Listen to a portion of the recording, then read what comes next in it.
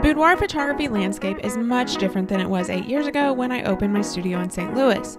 Today, what I want to do is break down exactly what I would do if I was starting my boudoir photography studio in 2024.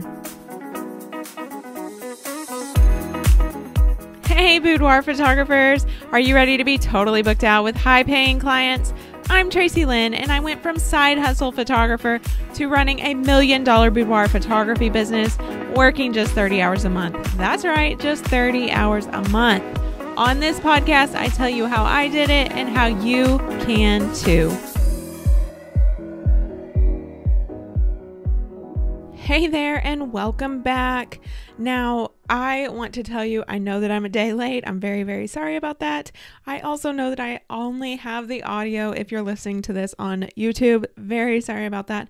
Next week should be going back to normal with the holidays. Everything has been a little bit crazy. Now, although I've been a photographer since 2013, I built my St. Louis boudoir studio in 2016. At that point, boudoir photography was just becoming a thing. I mean, it had been around, but photographers niching to boudoir only was just starting to happen. I'm so thankful I was ahead of that craze. Now there are so many boudoir photographers, the competition is fierce. And if you're like most photographers, I know you're wondering how do you stand out from the crowd? How do you get clients to book with you over the cheaper photographers down the street? How can you charge premium prices when the market is flooded with photographers charging cheaper prices, even boudoir photographers? The boudoir photography landscape is much different than it was eight years ago when I started. So, what I'm doing today is breaking down exactly what I would do if I started my boudoir photography studio in 2024. Are you ready? Let's get started. The first step I would take to start a new and successful studio in 2024 is to understand what you actually need to make to run your business and then build a pricing list to make it happen. Most photographers bring home 30% of their total revenue. So, to figure out how much money you need to make to run your business, you need to work backwards, which means we need to start with your salary goal. To be honest, this is where a lot of photographers go wrong. They hear other photographers talking about six figure years and multiple five figure months. And they think that that's the most obvious thing, that that's what they need to work towards. Plus, it sounds glamorous and cool to say that you're a six figure photographer, but they don't actually realize what their expenses are, what they're going to need to pay themselves, what they need to do to bring that in. So instead, let's just talk about what you need to make per month. This could be just to replace your nine to five. It could give you and your family a little extra money for vacation. It really doesn't matter, but we need to have a goal of what you want to make per month to know what your total revenue is. We also want to build goals based on actual data. That's the type of goal that's actually reachable. So let's say that you want to make $3,500 a month. That's what you actually want to bring in. $3,500 divided by 30% is $11,666 per month or $140,000 a year in total revenue. Now, let's say that you have time for 10 clients per month. You would need a sales average of $1,116 per client, meaning each client would be worth $1,116. To make this happen, what you do is create a price list that would help you bring in that $1,116. What this price list would do is just guide your clients to that $1,100 album or wall portrait or whatever it is that you want her to purchase. The second step that I would take to start a new and successful studio in 2024 is to plan out exactly what my schedule would look like. The good thing about planning your schedule is it helps with your marketing strategy. You'll know exactly how many clients you need per month, and you can plan in yearly sales to your marketing strategy to actually make sure that you stay booked when you want to be booked. There's a strategy to finding out how many clients your schedule can actually handle, and forget the example in the previous step. We're starting fresh here. What you need to do is take the amount of hours you can work per month and multiply that by the number of weeks you plan to work per year. So let's say that you can work 25 hours per week and you plan to take four weeks off each year. Take that 25 hours and multiply that by 48 weeks. That means that you would have 1,200 hours per year to work. So a third of those hours will be dedicated to marketing and admin. So we're just going to go ahead and subtract that third. That leaves you with 800 hours left specifically for clients. Now, most photographers spend eight hours per client from initial contact to delivery of the product, meaning you'll have time for 100 clients per year. I know that sounds scary, but that's just eight to nine clients a month. So, what you want to do is plan out your schedule with this information.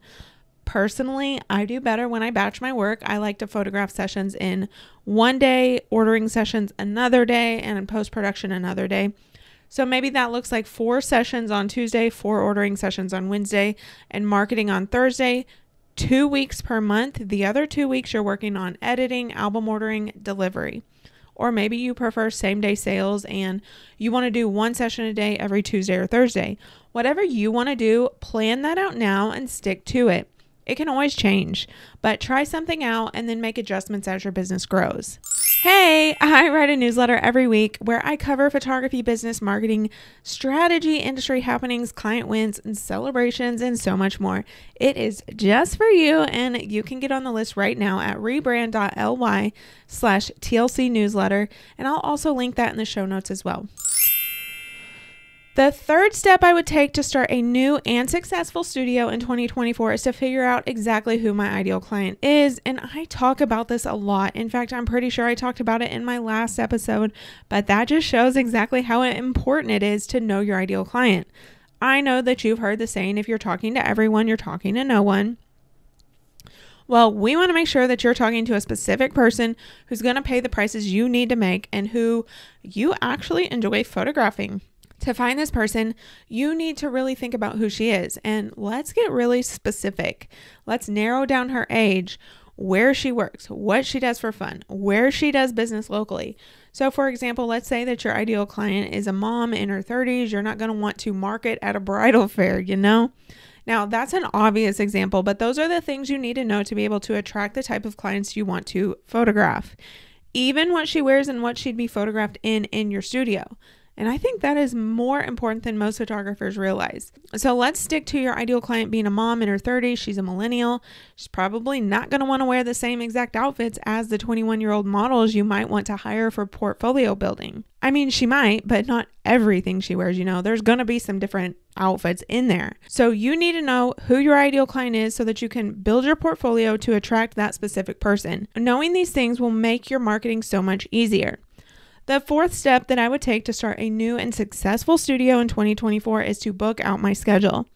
At this point, I know who my ideal client is, so now I need to build a website that will easily convert leads into clients. And I call this my high converting website, and there's a lot of strategy behind it. For one thing, you need to make it obvious what she should do once she lands on your page. Obviously, book a session.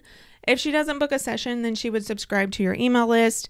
But the other thing, your website should answer questions she needs answered before she books a session.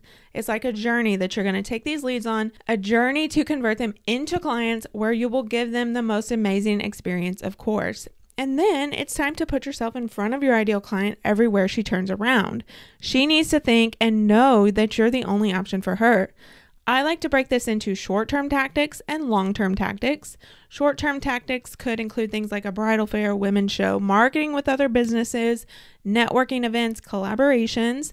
And the good thing about these short term tactics is that even though they are a bit of a hustle up front, they're also really great for long term strategies as well.